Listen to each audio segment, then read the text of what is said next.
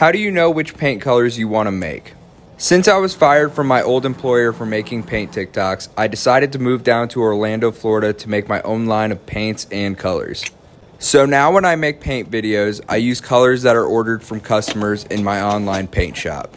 For example, I'm shipping this gallon of paint out to California for Stefan so he can paint his living room accent wall.